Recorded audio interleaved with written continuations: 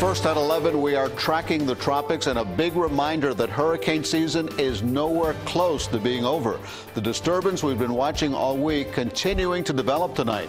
Let's get right to our chief meteorologist, Craig Setzer, and the 11 o'clock advisory just in. Craig? So, Elliot, typically we don't have advisories for disturbances. We track them and we talk about them. We show you the models on them, but we don't have an advisory with a forecast track. The exception is when a system is expected to become a tropical storm, but hasn't become a tropical storm yet, and there's the need for putting up watches or warnings. And in fact, uh, tropical storm warnings are in effect for the Northwest Bahamas. So, National Hurricane Center started this this afternoon at 5 o'clock. This is our second advisory, and don't get don't get hung up on this uh, complicated name up here, potential tropical cyclone. Basically, just think of it as a potential tropical storm uh, advisory. So winds are 30 miles an hour, not tropical storm strength. It's not terribly organized. It's drifting to the northwest right now at about 320 miles or so southeast of Freeport in Grand on Grand Bahama Island. Here's the future track, and through tomorrow, forecast to remain either a potential tropical storm or becoming a tropical depression, but then uh, by Saturday morning, a forecast to become tropical storm Umberto, and you can see the cone going right across the part of the Bahamas that don't need any more tropical activity, and you can see the cone fairly close to South Florida, and then that's Saturday evening, Sunday evening time frame, and then there's a tremendous amount of uncertainty. Does it get stuck up here under high pressure?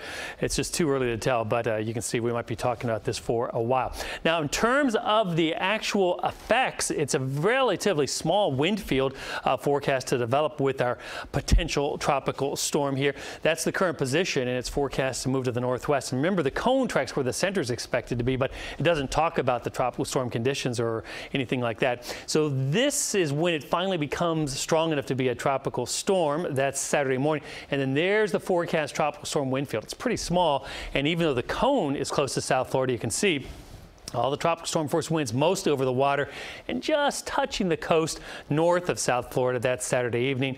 And then by Sunday, there's the forecast position. And this is really where the tropical storm conditions are going to be mostly offshore. Although, if it does get a little bit stronger than forecast, some of those winds in central and north Florida could come on shore. And then, of course, with this high uncertainty area up there. Kind of hard to find, but you're drawn to kind of the big thunderstorms out there. But the actual location is uh, back to the southwest of the center. That's because there's a lot of upper level wind shear. And that upper level wind shear is to this big, big upper level low. Look at that swirl up there that's blowing against the system here and keeping it sheared, which usually limits the development with, or at least slows it down and kind of makes it a little bit lopsided as well. So going forward, this is what we're expecting, passy, gusty downpours here in South Florida through the weekend. Only a marginal threat that this would be a tropical storm for us, and there's no hurricane threat for South Florida from this system. More on that, plus what to expect those folks in the Bahamas coming up in just a bit.